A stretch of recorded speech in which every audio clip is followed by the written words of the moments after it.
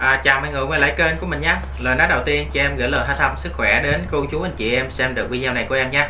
Thì à, kênh của mình thành lập ra với mục đích là giao lưu kết nối để chia sẻ những cái mẫu hồ cũng như là những cái cách làm lọc lên kênh của mình đó à, Bên cạnh đó thì mình cũng có hỗ trợ tư vấn cách làm lọc nè, xử lý nước và điều trị một số bệnh cơ bản cho cá coi.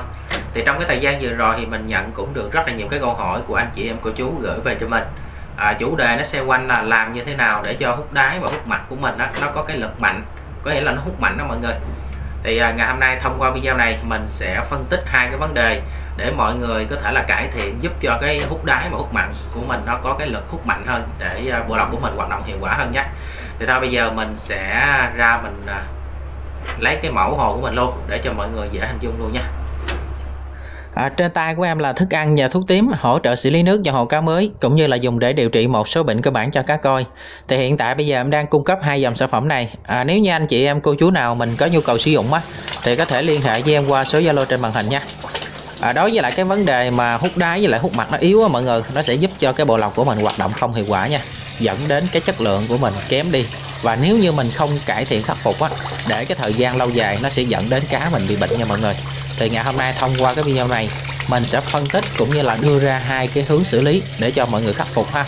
Nếu mà hiện tại bây giờ ở nhà anh chị em cô chú nào đang gặp cái tình trạng hút đáy hút mạch của mình, nó hút cái lực yếu thì mình có thể tham khảo video này của em nhé thì cái đầu tiên nó cũng rất là đơn giản thôi à, nếu như mọi người kiểm tra mà thấy hút đáy hút mặt của mình hút yếu á, có nghĩa là phân nó gần tầm cỡ một hoặc là 2 cm mà cái hút đáy của mình nó không có đưa phân vào được để đưa qua bên hệ thống lọc. Cũng như là cái hút mặt của mình á cái phân nổi nó lại dần mà nó hút không được á hoặc là cái nước nó không xoáy xuống được thì chứng tỏ là cái hút đáy hút mặt của mình hút yếu nha mọi người. Thì cái hút đáy hút mặt này nó hút yếu á, nó nằm ở nguyên nhân là ống hút đáy và hút mặt nó to, nó đưa nước từ ngay chỗ hồ chánh của mình qua bên ngay chỗ ngăn lọc một cách dồi dào. Có nghĩa là mình giả sử như hồ của anh chị em đi hút đáy 60 và một cái hút mặt là 60 mà mình sử dụng bơm chỉ có 6.000 lít trên giờ thôi, thì hai cái ống 60 này nó sẽ đưa nước từ ngay chỗ cái hồ chánh của mình qua bên ngăn lọc một cách nhanh nhất và dồi dào, có nghĩa là dư nước nha mọi người. Thì cái bơm 6.000 lít trên giờ này của mình so với lại là hai ống 60 nó sẽ bị yếu thì cái cách đầu tiên để mà mọi người giúp cho cái hút đáy hút mặt này của mình nó hút mạnh là mọi người tăng bơm nha. Thì mình có thể là thêm một bơm 6.000 lít hoặc là một bơm 5.000 lít để nó giúp cho cái lưu lượng nước từ cái chỗ hộ tránh qua bên ngay chỗ ngàn lọc của mình đó nó đưa qua nhanh và cái hút đáy hút mặt 60 này của mình nó sẽ có cái lực hút mạnh nha. Thì cái đầu tiên rất là đơn giản thôi là mình sẽ tăng bơm, sẽ tăng bơm ha. Còn ví dụ như mình đi hút đáy hút mặt ống 34 mà ví dụ mình xài bơm 2000 thì mình muốn cho nó tăng mạnh lên thì mình có thể là xài thêm một bơm 2000 nữa. Mình nói ví dụ vậy có nghĩa là anh em kiểm tra mà thấy được là cái phân ngay chỗ chìm á ngay chỗ hút đáy của mình dần mà nó hút không được nè hoặc là hút mặt của mình. À, nó không có xoáy á mọi người có nghĩa là cái lực nước nó vô yếu á thì mọi người có thể là tăng bơm ha. Cái đầu tiên đó là mình nên tăng bơm nha. Thì tăng bơm bao nhiêu nó tùy thuộc vào hai cái ống hút đáy hút mặt của mọi người đi to hay nhỏ mà mình tăng thêm bơm để cho nó phù hợp nha. Thì đó là cái phương án đầu tiên. Nó rất là đơn giản đó là mình tăng bơm nha. À, và đối với lại cái phương án thứ hai thì cái phương án này mình đã chia sẻ rất là nhiều lần rồi. À, đó là mình thu nhỏ bên ngay chỗ ngăn lắng nhưng mà còn rất là nhiều anh chị em cô chú đang thắc mắc ngay cái chỗ thu nhỏ đó là gì. Thì sẵn ngày hôm nay mình vệ sinh cái ngăn lắng của mình thì mình sẽ lấy ví dụ cái hồ của mình luôn. Tại vì hồ của mình đây là mình đi hai hút đáy một cái 60 một cái 34 và một hút bạc 34 thì như vậy là mình xài tổng bơm chỉ có tầm 5.500 lít đến 6.000 thôi. Nó sẽ bị à, cái lượng hút nó sẽ bị yếu. Thì bây giờ mình bắt buộc phải thu nhỏ lại ngay chỗ bên cái ngăn lắng của mình. Hút đáy và lại hút mặt. Thì sẵn đây vệ sinh mình sẽ làm mẫu một lần để cho mọi người à, dễ hình dung luôn. Để nếu mà anh chị em nào hiện tại bây giờ đang gặp cái tình trạng á, hút đáy hút mặt nó yếu thì có thể tham khảo nha. Rồi bây giờ mình sẽ tiến hành vệ sinh rồi mình hướng dẫn cho mọi người làm luôn. Rồi đây là cái cách thứ hai nè anh em. Đó anh em thấy không? Ở đây của mình là hút đáy của mình là 90 nè. Trên này một cái là 34 hút mặt của mình là 34 đó thì bây giờ ở đây là mình sử dụng tổng bơm á là chỉ có 5.500 lít trên giờ thôi. Thì cái hút đám à, 60 này với lại cái 34 cộng với lại hút mặt 34 á, nó sẽ dư nước. Nên là mình thường hay nói anh em là thu nhỏ cái hút đáy thu nhỏ có nghĩa là không phải thu đây nha mà thu bên chỗ ngăn lắng á mọi người.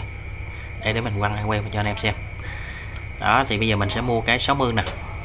Về cái này là 49 60 49 mình gắn bên ngay chỗ ngăn lắng của mình.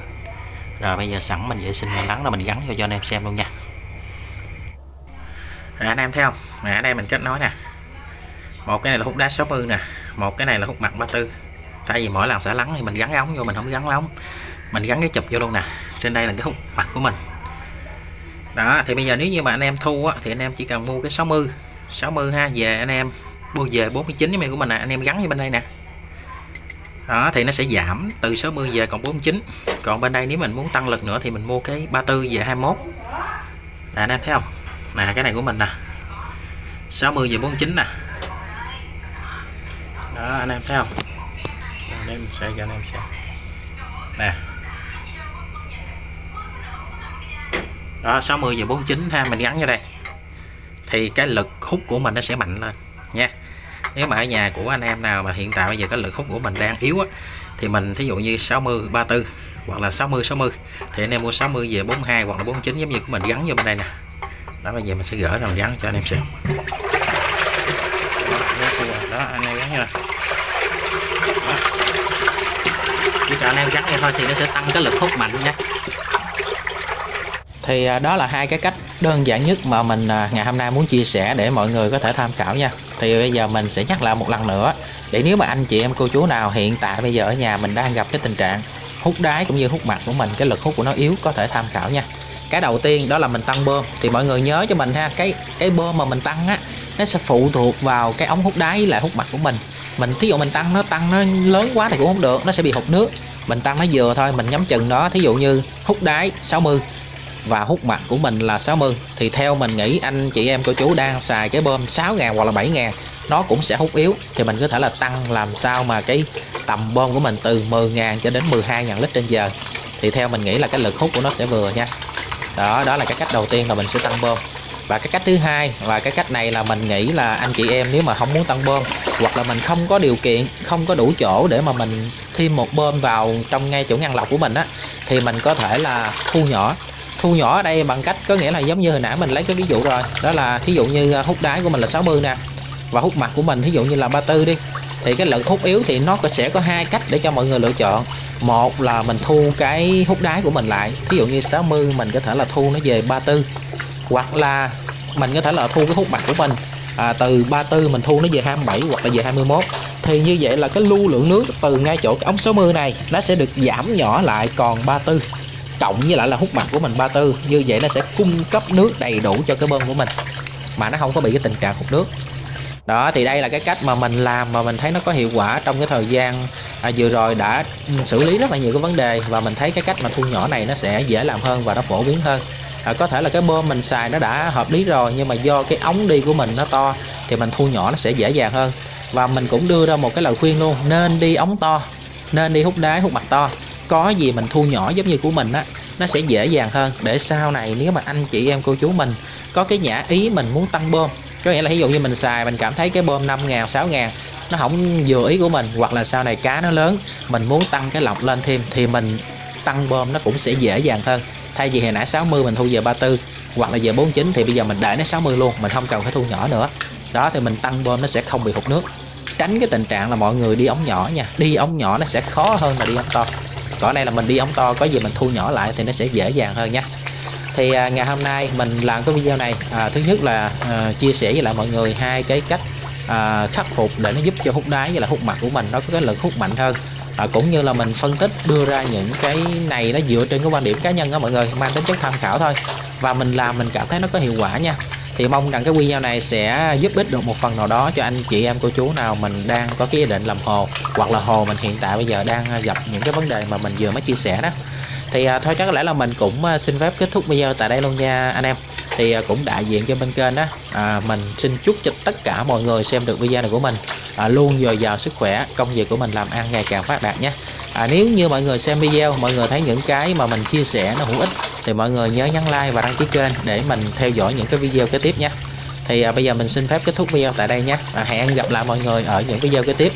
Hứa hẹn là sẽ có những cái mẫu hồ đẹp và những cái bộ lọc rất là hiệu quả để cho mọi người tham khảo nhé một lần nữa xin chúc mọi người xem video vui vẻ nhé